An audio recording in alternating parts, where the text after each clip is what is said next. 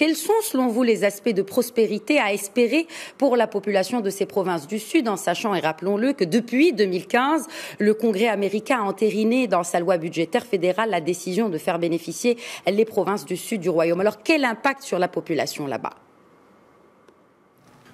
Notre choix a porté sur Dakhla vu qu'il y aura là-bas un port, des opportunités industrielles, de l'emploi.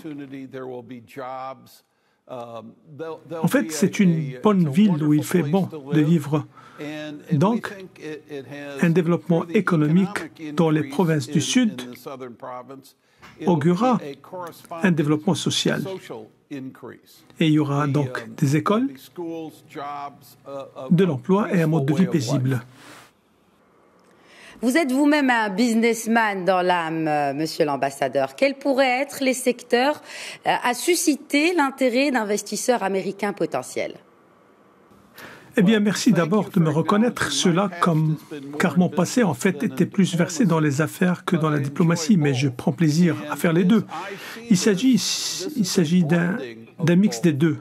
Nous allons assister à davantage d'échanges sociaux avec les gens et nous aurons une vue plus claire pour le Maroc et pour le monde par rapport à la perception du gouvernement américain à l'égard des provinces du Sud. À mon avis, ceci va et verse dans le sens de la stabilité et la maturité dans les jours à venir.